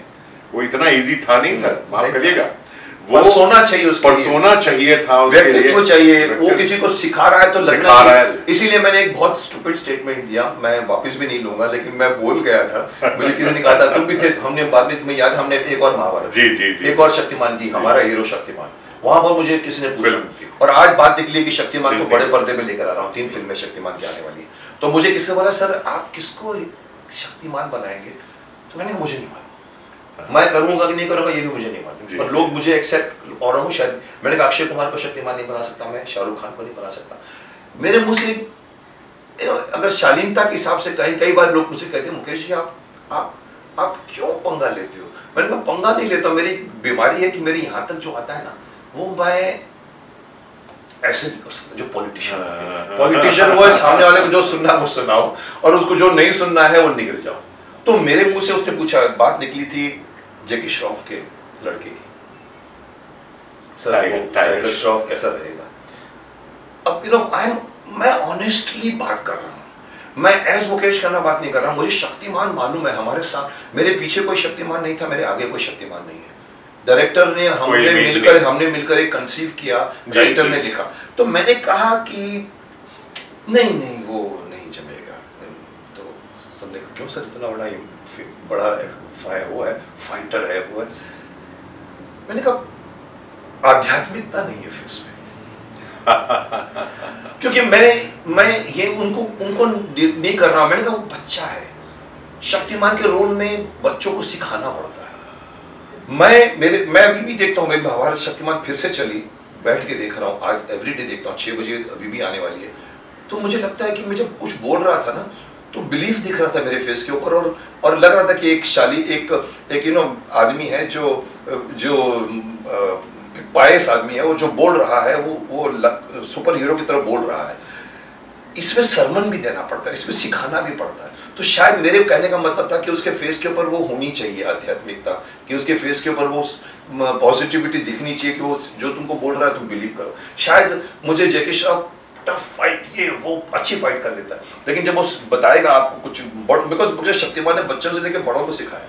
वो नहीं कर पाएगा उसको बोलेगा यार बैठ तू बच्चा है जैसा this is what I mean by the very very by हैं। परसोना होना चाहिए जो शक्तिमान जो शक्तिमान में लोगों को दिखा और जिसकी वजह से देखिए हिंदुस्तान की आप दो लोगों को कन्विंस कर सकते हैं लेकिन पूरे पूरे देश विदेशों में रहने वाले बच्चों को सब बच्चों को बड़ों को बुज़ुर्गों को सबको कन्विंस करना एंड मेक टू बिलीव कि यही शक्तिमान है ये बहुत डिफ़िकल्ट बस गया मैं तो मालिक की दया मानता हूँ बस मेरा मेरे अगेन वही बात है कि मैं वही रोल करता हूँ क्योंकि मैं ना कर सकता हूँ। मैंने सुभाष घई जी को भी ना किया था पहली बार फ़र्स्ट हाँ, में हाँ, हाँ। मैंने कहा दिलीप साहब बैठे हैं राजकुमार बैठे मुकेश खन्ना क्या करेगा नया एक्टर कोई नहीं बन सकता उसके बीच में शक्तिमान आया जो मेरे अंदर से निकला। इसीलिए मैं अच्छा कर गया। पितामा मैंने अच्छा किया क्योंकि मैंने अपने फादर की सेवा की है। मेरे को लगा ये लड़का ऐसा हो सकता है जो अपने बाप के लिए एक तृष्णा में अपनी ज़िंदगी आज का कोई एक्टर बोलेगा अरे छोड़ यार शादी नहीं करेंगे ठीक है। अफेयर नहीं करना। वो कोई लड़का नहीं मानेगा आज। तो एक्टर के अंदर वो बिलीफ डिसबिलीफ हुई ना तो यहाँ आएगा फटाक से। मैंने कहा नहीं ऐसा बच्चा हो सकता है। क्यों नहीं हो सकता? क्या ज़रूरी कि पिता ही पुत्र के लिए करता रहे पुत्र का कोई कर्तव्य नहीं होता। No that belief was there that belief you got it in Kilvish I got it in Shaktimaan and we मैं कह सकता हूँ कि जिस तरह से मेरे को लोग कहते हैं मैं तो बीजेपी में जाता था इलेक्शन में तो बाकायदा माइक पे आता था आ गए बड़ों के पितामह छोटों के शक्तिमान बड़ों के पितामा छोटों के शक्तिमान तो लोग कह सकते हैं इनको कि आ गए बड़ों के द्रोणाचार्य और बच्चों के Shaktimaan you you you live that role and, and it is something we enjoyed working. It is not a difficult, it's not an easy serial. You can't say कि शक्तिमान बनाना इतना easy था. मैंने आपसे कहा ना मैंने कहा वो रोल करने के लिए मैं अभी दस शो कर सकता था एक एक एक रोल करने के लिए मेरी पूरी एनर्जी लेवल खत्म हो जाती तो दिखती है। आज तुम अभी रिपीट टेलीकास्ट देखो तो मैंने हमने काफ़ी मेहनत की थी यार। मैंने डायरेक्टर को भी फ़ोन बात भी जी, जी। मैंने कहा यार डायरेक्टर को कहा मैंने कहा यार हमने काफ़ी मेहनत की थी यार। एक विलन एक विलन चेंज दूसरा विलन तीसरा विलन ना अच्छा काम एंड। मुकेश जी एक चीज़ और बताना चाहता हूँ कि हमारी जो टेलीविज़न की जो पॉपुलरिटी होती है वो जब तक शो चलता है तब तक ही टेलीविज़न का एक्टर नज़र आता है। लेकिन आज बीस साल 30 साल के बाद में भी सेम ब्रांडिंग बीस साल तीस साल के बाद बावजूद बाद भी लोगों को वो कैरेक्टर याद है वो वो परसोना याद है Exactly. वो लोग याद हैं। मुकेश खन्ना याद है हम्म। सबसे बड़ी बात है। अच्छा काम है तो ही तो ही पूरे वर्ल्ड को इम्प्रेस करेगा। ये ऐसे कोई एवे नहीं हो जाता है कोई चीज़। जो हिट होती है उसके पीछे तुम रिसर्च करोगे तो कुछ ना कुछ मेहनत होती है। जी अब जैसे मैं ही आपको बता रहा हूँ कि मैंने करीब दस हज़ार एपिसोड अभी तक करीब बत्तीस साल के अंदर बत्तीस कर चुका हूँ। तुम सारे वर्कहोलिक बहुत। तुम भी और एक दूसरा हमारे भाई जी है किरण कुमार जी। उनको भी मैं अभी बात हुई परसों मेरे फ़ोन पे। मैंने कहा भाई बोला मैं शूटिंग कर रहा हूँ शूटिंग कर रहा हूँ मैं यहाँ गया वहाँ गया। मैंने कहा आप अल्कोहलिक है वर्कहोलिक और मैं आपको ये तुम भी हो तुम भी मेरे को सुना है इसके बारे में मेरे को मेरे इसके मेकअप मैन ने बताया मेरे को कि ये भी शॉर्ट बोर्ड दे के आता है सुबह छह बजे घर से निकलता है रात को बारह बजे पहुँचता है। ये शॉर्ट के बीच में लेट जाता है ऊँग जाता है तो उसके बाद सडनली शॉर्ट रेडी हाँ हुआ शॉर्ट रेडी चल चल चल चल तो ये भी एक वर्क ऑलकोलिक जो मैं नहीं हूँ। मैं मैं कंफर्ट लेवल से काम कर रहा हूँ। लेकिन लेकिन हमें 10,000 पूरे पूरे दस हज़ार एपिसोड खत्म करने के बाद आज बत्तीस साल से मैं टेलीविज़न में शायद कभी ऐसा दिन गया होगा मुकेश जी मैं घर में आजकल तुम क्या कर रहे हो? मुझे सवाल नेक्स्ट सवाल मेरा ये है कि आजकल तुम क्या कर रहे हो? और लेकिन हम्म। आज भी पूरे हिंदुस्तान में मेरी रिकॉग्निशन जो है जैसे मैं अभी हाँ। 2019 में 2019 में मैं सितंबर के महीने में अमेरिका गया था हम्म। आप विश्वास नहीं करेंगे जब मैं वहाँ के अ, स्ट्रीट पे हम घूम रहा था अपना न्यूयॉर्क में हम्म। तो लोग मेरे को पास आ रहे थे किलविश शक्तिमान किलविश अंधेरा का अंधेरा कर तुम्हारा डायलॉग भी उसकी तरह फ़ेमस हुआ है जैसे गब्बर सिंह का था कि कितने आदमी। तुम्हारा डायलॉग मेरे से ज़्यादा फ़ेमस है। अंधेरा मैं चुप कोई अंधेरा कायम नहीं और और और तो और मैं फ़्लाइट में भी जाता हूँ तो जो एयर हॉस्टेसेस होती हैं वो मुझे कहती हैं जब मैं सोता रहता हूँ फ़्लाइट के अंदर तो वो कहती हैं सर पीछे आइए ना। मैंने कहा क्या करना? कहते पीछे आइए फ़ोटो खिंचानी है, हाँ। तो तो मुझे आज भी इतना अच्छा लगता है एक पूरी कि मैं इतनी- बड़ी हुई है। इतना काम करने के बाद हाँ। एक पूरी जनरेशन बड़ी हुई है शक्तिमान को देखकर। उस जमाने में पाँच साल के थे सात साल के थे आठ साल के थे आज तीस साल के हैं पैंतीस साल के हैं बच्चे पैदा हो गए माँ बाप बन गए बिल्कुल। दे आर पूरी मतलब एक जैसे तुमने सही कहा कि कि भाई लोग भूल जाते हैं। आज शक्तिमान की ब्रांडिंग आज भी चलती है। अगर एक फ़िल्म आई थी राजेश्वरी की जिसके अंदर उसकी बैंगनी कलर की साड़ी माधुरी के ब्रांड में बिकनी लगी थी। हाँ, हाँ, याद है? हाँ। पर फ़िल्म गई तो गई। गई तो- शक्तिमान कॉस्ट्यूम आज भी बिकता है। शक्तिमान का टॉयज आज भी बिकता है। तो उसकी ब्रांड वैल्यू है। उसकी एक, एक अच्छी चीज़ बनी जो बन गई। मैं तो कोई तारीफ़ नहीं करता हूँ। जैसे हम हम मैं मेरे को पीछे पितामा के लिए पूछा गया था एकता कपूर की तरफ़ से आया था। मेरे को कहा कि सर वो हम महाभारत बना रहे हैं। मैंने कहा हाँ मैं सुन चुका था। और मैं वैसे भी भड़कता हूँ उसके ऊपर कि उसने महाभारत की बोला तो मैंने क्या है फ़ोन पे? सर वो आप एक रोल करे करना करेंगे। मैंने कहा कौन सा रोल दे रहे हो? तो बोला सर वो भीष्म पितामह के फादर का। का तो मैंने कहा do you think I will do Bhishma father after doing Bhishma? अच्छा सर आप भीष्म करेंगे भीष्म करेंगे। मैंने कहा वो भी नहीं करूँगा। सो so, एक बात है जो बन गई सो बन गई। मैं आपको एक बार बता दूँ इनके साथ फिर हमने शक्तिमान को सेकंड रूप में भी जब बनाने की कोशिश की एक हमने टेलीफिल्म बनाई जिसका नाम था हमारा हीरो शक्तिमान।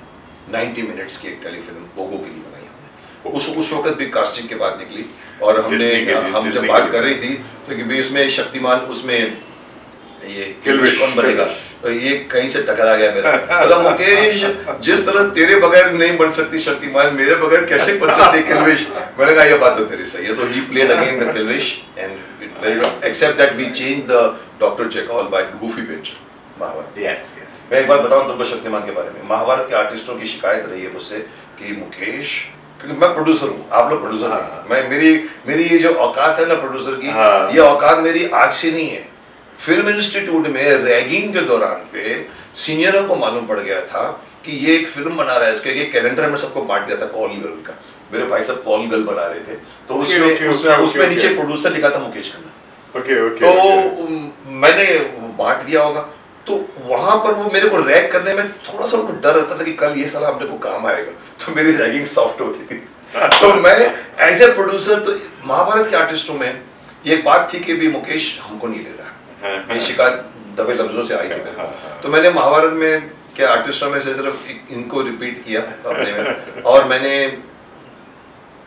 अधर्मराज मैंने युधिष्ठिर को भी एक रोल महागुरु बनाया था उसमें बट अर्जुन की शिकायत होगी औरों की भी शिकायत होगी। पर मुझे कहीं फिट करने का मौका नहीं मिला। तो मुझे जब सेकंड टाइम महाभारत बनी उस वक्त हमारा हमारा हमारा जो डॉक्टर चेकॉल बिज़ी था शायद पता नहीं क्या था हाँ, हाँ। नहीं आ सका। तो मैंने गूफी को फ़ोन किया।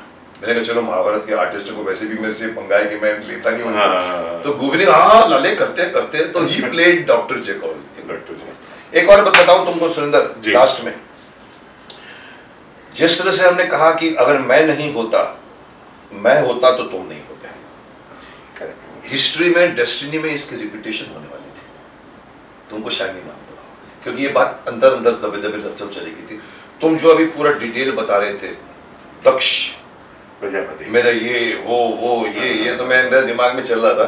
मेरे को ऑडिशन के लिए बुलाया था। और मैंने मैं नहीं जाता मोस्टली पर मैं एयरपोर्ट से आ रहा था तो मैं उनके ऑफ़िस में जाकर उनके वहाँ खड़े होकर मेरे को बोला सर कुछ थोड़ा सा एक एक वो दे देंगे आप? ऑडिशन यूजुअली हमको नहीं पूछते कि हाँ, हम आप मेरे कंपनी जी जी जी जी। मैं हाँ चल दे दे तो कर। उसने कुछ मुझे लड़की ने लाके कुछ भेज दिया। तो उसमें था वो महादेव जय सुन ले महादेव। तो ये जो तेरा रोल था तो मैं बोलने को तो बोल गया फिर मैं बाहर निकला। मैं महादेव का थोड़ा सा उपासक मेरे यहाँ पर मूर्ति भी लगी हुई है। जी, जी। तो मैंने कहा अच्छा हुआ मैंने ये रोल नहीं किया क्योंकि अगर मैं करता तो मुझे अच्छा नहीं लगता वो शिव जी को गाली देता जो तुम बड़े कॉन्फिडेंटली दे रहे तो वो रोल मैंने समहाउ इंटरेस्ट दिखाया। अगर मैं इंटरेस्ट दिखाया होता तो तुम नहीं होते दक्ष दक्ष बनता पर अच्छा है क्योंकि मुझे अच्छा लगा कि मैंने वो रोल नहीं किया जिसमें मैं ओपनली शिव जी को गालियाँ देता हूँ करेक्ट ओपनली चैलेंज करते हो आओ इधर ये हाँ, वो, ये। और मतलब हर चीज़ में उन, उन, उनको ही मतलब कंडेम करता है। कंडम कंडेम करता that is a role of हाँ, जो जो सती का फादर था। सती का father. जो जिसके ऊपर ये सब सती को बुलाते हैं और वो वो कूद जाती है उसका तुम्हें पता है हमारे और तुम्हारा मुकेश मैं एक बात कहना हाँ, चाहता हूँ कि ये जो दक्ष प्रजापति का रोल यदि आप भी करते मैं ये कह सकता हम्म। हूँ कि अ, शायद इसकी पॉपुलैरिटी कहीं और होती मैं मैं इस बात पर मेरे दिल से मैं, नहीं। मैं मैं एक बात को डिनाई नहीं कर सकता हूँ कि जिस रोल को भी आप अच्छा रोल था शिद्दत के साथ किया जिस। रोल को आपने किया है हम्म। उसमें आपने आप मैं महाभारत के बारे में भी कहूँगा मैं कि आप सबसे फ्रंट की रो में दौड़ रहे थे और उसके बाद दो तीन चार पाँच छः सात आठ नौ दस दस की रो में हम सारे के सारे पूरी महाभारत की टीम दौड़ रही थी। नहीं, तो इतना डिफरेंस था मैं आपको बता रहा हूँ। और और फिर शक्तिमान में भी यदि आप नहीं होते तो किलविश भी नहीं होता ये भी बता दो। नहीं, जितना- किलविश अगर जितना किलविश अच्छा अगर किलविश अगर ऊपर नहीं कर तो आया नहीं होता। हाँ, उभर कर आया that because of you were there you were standing you were like a rock और और और इसमें भी दक्ष में भी जो था वो अगर आप करते तो खैर कुछ कहानी और होती उसकी। दक्ष की आज कुछ कहानी और होती। सिर्फ़ फर्क- लेकिन समहाउ मुझे ऐसा लगता है कि is a very good compliment to me कि जब आप नहीं होते हैं तो उसकी जगह लोग मुझे तो मुझे भी बुला लेते हैं। रही। वही मैंने कहा ना कि is a compliment to me मैं- मैं दक्ष- कि जिस चीज़ को मुकेश जी रिफ्यूज कर देते हैं तो कहीं ना कहीं लोगों को ऐसा लगता है कि इस रोल को दो ही कलाकार जो है टेलीविज़न में कर सकते हैं एक मुकेश खन्ना दूसरा Surendra is a good compliment good compliment और गुड बात अच्छी बात है। तुमने अच्छा किया मैंने तुम्हारा परफॉर्मेंस देखा। जी, जी। काफ़ी तुम्हारा देखा। हालाँकि मैं तुम्हारे को शिकायत थी कि तुमने पेट वेट बड़े हुए थे और तुम बता रहे हो कि वो चाहते थे कि पेट वेट बड़ा होना चाहिए। वैसा उन्होंने कहा था तिरुपति के जो पंडे होते हैं ना हाँ, वैसा। उनके पे मुझे वो- वैसी- मुझे वो खल रहा था और वही चाल चाहिए उनको वैसी चल चाल चाहिए थी। इसीलिए- जैसे इसीलिए- जैसे। और जैसे कि आपने देखा था कि अकबर कोई नहीं जानता है पृथ्वीराज कपूर हाँ, आज कोई नहीं कर सकता। लेकिन लोग कहते थे Akbar was a short according to history वो था। लेकिन जब कर गए तो कर गए। आज पृथ्वीराज जो। जी- तुमको याद है अकबर में अकबर का रोल अकबर ने अकबर नाम है ना संजय खान के भाई का नाम हाँ, उसमें उसने किसी को अकबर बनाया कौन कौन नवाब को बनाया नवाब एक्टर है। और उसका पूरा गेटअप दिखाया था पीछे पीछे से उसकी एंट्री दिखाई थी। और एक इसी सीरियल में शायद कौन सी सीरियल बनाया था वो। तो उसमें वो तैयार हो रहा है तैयार हो रहा है यहाँ पहना रहे हैं वो पहना रहे हैं बाल उसके दिखाए वो दिखाए पाँच छह डिज- एक एक एक दिए शॉट जो उसके।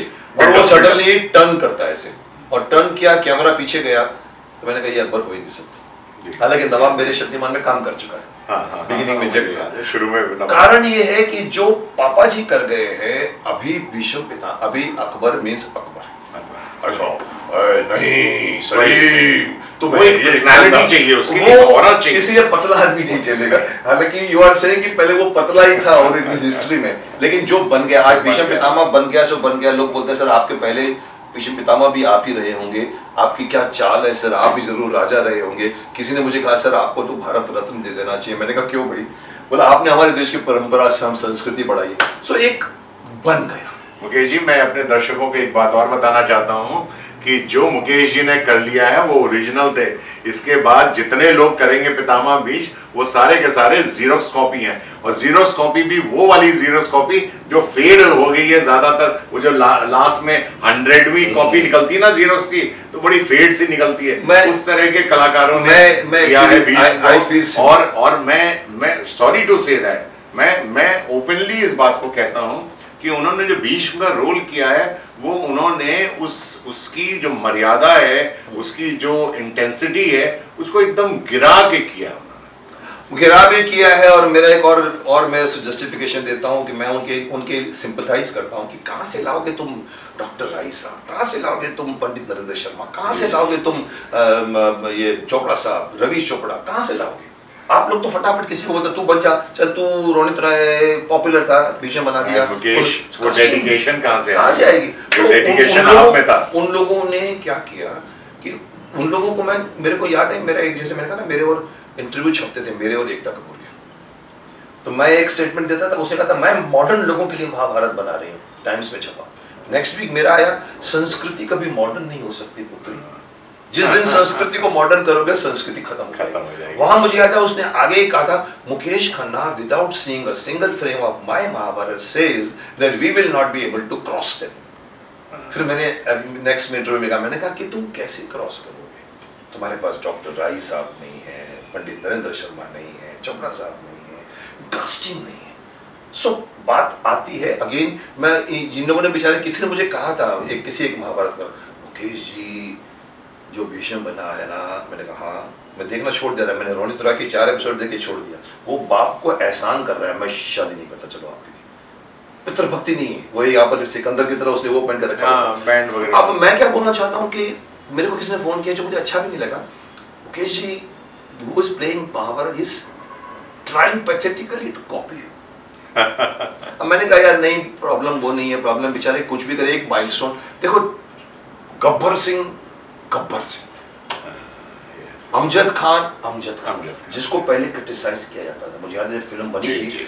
उसमें ये सबसे नए एक्टर थे बाकी सब इस्टेब्लिश थे। सब लोगों ने किसको बना दिया? सुपरस्टार थे। डैनी को बनाना चाहते थे सारे के सारे अब वो आदमी की शुरू शुरू में मैंने इसको first show first day show में देखा था शोले और मेरे साथ में आई थिंक मेरे साथ में जावेद साहब थे। हम लोग साथ में थे। और हम लोग पूरी देखा तो कमाल की बन गई थी। मैंने कहा ये तो एक्सट्रीम चला गया। पर किसी ने मैंने क्या किसी ने कमेंट किया? अमजद की आवाज़ थोड़ी सी पतली है। साहब हाँ, मतलब पर वही आज आइकॉन बन गई। कितने आदमी थे।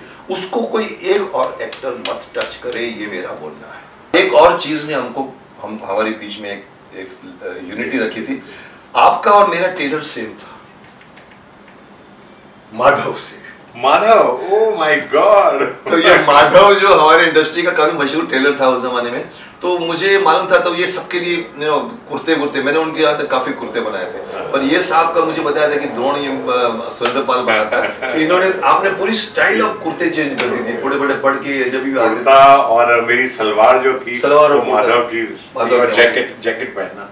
और ये मेरी तब से चली आ रही है तब से। जब से मैं इंडस्ट्री में आया था मैं एक शो कर रहा था गोविंद निलानी जी का तमस। जिसमें मैंने एक पठान का रोल किया था। उसमें? तो उसमें उन्होंने मुझे ये ड्रेस गोविंद जी ने दी थी। तो जब मैंने पहनी ये ड्रेस तो सब लोगों को बड़ी अच्छी लगी थी। पंकज कपूर जी थे ओमपुरी जी थे सर। नसीर भाई थे सब सब लोग बोले अरे भाई सुरेंद्र तुम बहुत अच्छे लग रहे हो।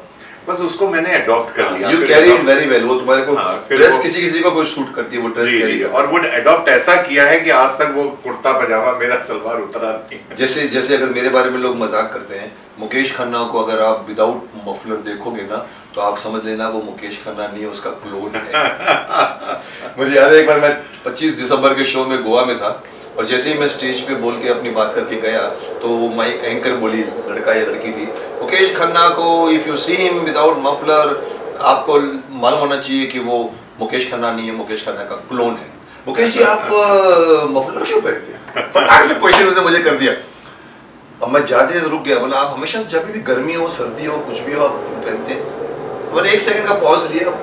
मैंने अंदर से निकलता है मैं जो बोलता हूँ। मैंने कहा, ये ये पूरे देश के बच्चों का बोझ मेरे कंधों पर है। ये मफलर मुझे याद दिलाता रहता है। बोला well said well said well तो ये ना ये मुझे किसी ने कहा भी था एक बार एक नाम भी बोल सकता हूँ प्रिया तेंदुलकर थी मेरे ख्याल से। हमने मार्शल किया था। जो बात हो रही है ना ड्रेस जी जी। तुझे याद है मार्शल में मैं ओवरकोट पहनता हम्म। था और हैट पहनता जी, जी। और भागते थे गन वन लेके। तो she did one two episodes in between with me Adhikari brothers की Okay, okay. भाई की। तो बीच में अचानक बोली बोला मुकेश जी आप ये ओवरकोट पहनते हो हैट पहनते हो। कौन पहनता है मुंबई में ऐसा मुझे याद है मैंने उसको जवाब दिया था मैंने और मैं अभी भी बोलना चाहता हूँ मैंने कहा Priya it all depends how you carry it हाँ I, जी। I can carry it. I can carry my overcoat and my hat. It all उसमें कहीं भी अगर आपको ये मालूम पड़ा कि ये तो मैं और लोगों लोग मेरे को देख रहे हैं तो आप परफॉर्म नहीं करो तो I can carry hats I can carry my overcoat मेरी ड्रेस वैसे तुम्हारा ये जो सलवार कमीज। सलवार कमीज तुम कैरी करते हो। अब एक सवाल एंड में पूछूँगा कि तुम्हारे बारे में मशहूर था कि जब पूरी बम्बई जो है वो कोरोना में उलझी हुई थी और कोरोना में ग्रस्त थी और कोरोना के डर से घर के कोने में बैठी थी उस वक्त तुम बम्बई से भागकर गोवा की वादियों में पहुँच गए थे। गोवा गए थे तो जी जी जी। Very sensible decision I would say तुमने जो लिया। पर मुकेश जी ऐसा ऐसा था कि अ, जैसा कि सभी लोग जानते हैं दर्शक भी जानते हैं कि कोरोना एक ऐसी महामारी हमारे देश में फैली है जिसने एक सुनामी की तरह सबको ग्रसित करती चली जा रही थी खा, खाती चली जा रही थी और इस वक्त जो था कर्णवीर बनने का टाइम नहीं था बल्कि बुजदिल बनने का टाइम exactly. था कि तब जो मर गया सो डर गया नहीं जो डर गया वो बच वो गया। बच गया वो वाली हालत थी। तो लोगों को ये था कि घर में रहो आ, सेफ़ रहो घर एक मंदिर है मंदिर में रहोगे तो आ, आप बिल्कुल सुरक्षित रहोगे। तो हमने भी थोड़ा सा प्रिकॉशंस उस वक्त ऐसा लिया था क्योंकि क्योंकि ये एक ऐसी बीमारी थी जो कहाँ से लग जाएगी किधर से लग जाएगी। पता नहीं है यू डोंट अदृश्य है। अदृश्य अदृश्य आपने हाथ लगाया यहाँ मालूम पड़ा आपको हाथ हम्म। मैंने भी हाथ लगाया लेकिन मुझे नहीं लगा आपको लग गया से। तो इस तरह की थी और हम लोग घर के अंदर बंद बंद हमें ऐसा लगा था कि ये लॉकडाउन हुआ है ये एक महीने के लिए हुआ है फिर वो दो महीना हो गया तीन महीने हो गया फिर उसके बाद एक दिन मेरे बेटे ने कहा कि पापा यहाँ छोटे छोटे फ्लैट्स हैं बम्बई शहर में हर जगह इतनी छोटी छोटी है। हम्म। तो सफोकेशन हो रहा है। तो पापा कहीं बाहर निकलते हैं यहाँ से। तो मैंने कहा बेटा कहाँ निकलेंगे तो बोला पापा गोवा चलते हैं। तो मैंने कहा तुम जाके देखो। तो वो गया मेरा बेटा और गोवा में जाके उसने फिर सर्च किया। एक बंगला ढूंढना बड़ा खूबसूरत सा जो नदी का किनारा था। चारों तरफ़ ग्रीनरीज थी सब कुछ वो था। फिर वहाँ उसने कहा कि पापा अब आप आइए यहाँ पे। तो फिर मैं और मेरी मेरी बेटी है और मैं हम तीन ही लोग थे। फिर हम लोग वहाँ पे जाके सेटल हो गए। और क्या है वहाँ पे सुबह मॉर्निंग वॉक करने को मिलता था हमें। या बहुत तूने मुझे अच्छा, वीडियो भेजा था अपने बाहर पार्किंग प्लेस है वॉकिंग है। अच्छा लगा। तो और मुझे अच्छा लगा और तुम्हारी डिसीज़न सेंसिबल लगी। और मैं और एक दो मैंने वेब सीरीज़ भी आई मुझे इसी बीच में जी फाइव के लिए रॉकर्स हम्म। करके। वो वो भी शूट कर लिया मैंने। आ, मुझे लंदन के लिए तीन फ़िल्में भी ऑफ़र हुई मुझे। वहीं पर? हाँ हाँ बैठे बैठे तो मेरे बेटे ने मुझसे कहा कि पापा मैं आपको कहीं आ, इंडिया से बाहर नहीं जाने दूँगा बिल्कुल भी नहीं। जो भी आपको शूट करना यहीं करिए हम्म। और ये करिए और यहीं रहिए। कितने महीने रहे वहाँ पर? कर रहे अभी भी रहता हूँ अभी भी है। अच्छा, आते जाते हाँ आता जाता रहता हूँ। मुकेश खन्ना शो था और इसमें हम्म। मुझे अपियर होना था। मुकेश खन्ना शो मेरे लिए बहुत बड़े सौभाग्य की बात है दोस्तों कि मुझे मुकेश जी ने अपने इस शो के लिए बुलाया है। ये मेरे लिए बहुत सम्मान की बात है। सम्मान के लिए मैं अपने दोस्तों को एक बात और बताना चाहता हूँ कि टेलीविज़न के एक्टर्स की ज़िंदगी बहुत छोटी सी होती है क्योंकि जब तक शो चलता है तब तक उस एक्टर को लोग पहचानते हैं उसके बाद लोग उसको भूल जाते हैं। लेकिन मुकेश और हम दोनों एक ऐसे कलाकार हैं टेलीविज़न से निकले हुए दो, दोनों कलाकार हैं। जिन्होंने महाभारत और शक्तिमान जैसे शो किए हैं और आज तक हमें दर्शक याद करते हैं हमें प्यार करते हैं उनका मान सम्मान मिलता है। इस बात की मुझे बहुत खुशी होती है और आज मुकेश खन्ना जी के शो में आकर भी मुझे बहुत खुशी हो रही है। इसी पर एक सब सवाल पूछूँगा। जी। मुकेश खन्ना शो का नाम तुमने ले लिया। एक प्रश्न पूछना चाहता हूँ कि मुकेश खन्ना शो मैंने क्यों बनाया उसका मकसद भी यही था। जी। मैं पूछना चाहता हूँ कि बिना फुअड़ता के भी शो चला सकते हैं। जी बिल्कुल बिल्कुल नो डाउट बिना डबल मीनिंग डायलॉग की शो चला सकते हैं। बिल्कुल आपने आपने हंड्रेड परसेंट नहीं टू हंड्रेड परसेंट मैंने इसको इसको नाम दिया है कि ये सब आर्टिस्ट वहाँ पर गए जो मेरे को नहीं बुलाया गया। किसी एक एक अज्ञानी पुरुष ने कहा कि मुकेश खन्ना में सेंस ऑफ़ कॉमेडी नहीं थी इसलिए नहीं बुलाया था। कुछ भी कारण था उसने स्टुपिडिटी की। मैंने देखा कि आप तुम भी तुम शायद गोवा थे उस वक्त। उसमें पता लगा जितने लोग भी आए मैंने कहा ये लोग अगर हंस हंस के अपने संस्मरण सुना रहे हैं महाभारत के। तो क्या हम लोग सीरियसली नहीं कर सकते? तो किया हमने तो इसीलिए मैंने ये पब्लिक को फिर से कहना चाहूँगा एंड में कि ये शो मेरा कोई आपको तो जानते हैं मेरे इतने 200-250 वीडियोस बन चुके हैं शायद। मैं चला आ रहा हूँ पिछले और मेरे सब्सक्राइबर्स वाले की दया से आप लोग पसंद कर रहे हैं।